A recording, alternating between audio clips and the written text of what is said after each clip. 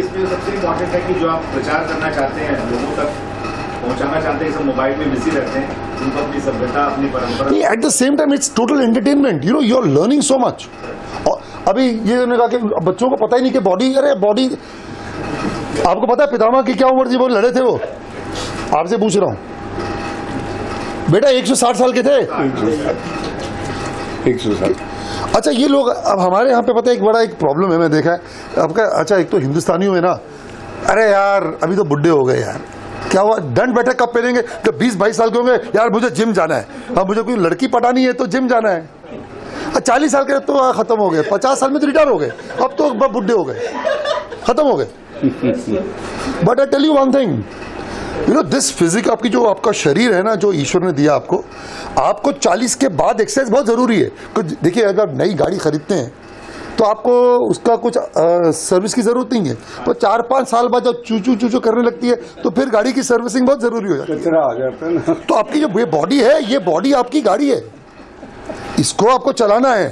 तो for me I am sixty one I still work out three four hours a day I run ten kilometres a day मैं दस kilometre रोज भागता हूँ, दो घंटे weight training करता हूँ और एक घंटा मार्शल आर्ट करता हूँ। So it's all in the mind you have to keep fit आप हमारे पुराने देखिए, जितने जो थे all it's in the mind if a man lives sensibly अगर आदमी थोड़ा एक्सरसाइज करता रहे 120 150 150 तो कुछ भी नहीं है यार। ये तो मेंटल हमारा फ्रेम है कि नहीं, साठ मतलब आप खत्म हो बुढ़े हो। वो सोचोगे तो बुढ़े हो जाओगे। मैंने वैसे 24 साल की उम्र में स्टे ऑर्डर ले लिया है।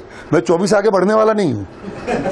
अच्छा देखिए मेरे मेरा भी ये इनके साथ मैं काफ़ी इत्तेफाक रखता हूँ कि मैं सत्तर में सेवेंटीज में हूँ। सेवेंटीज में हूँ। कहाँ मामा? अरे मामा 25 का मैं मैं 20 का हूँ अच्छा, अच्छा लेकिन लेकिन मैं एक्सरसाइज करता हूँ लेकिन मेरी एक्सरसाइज भीम और दुर्योधन करते हैं।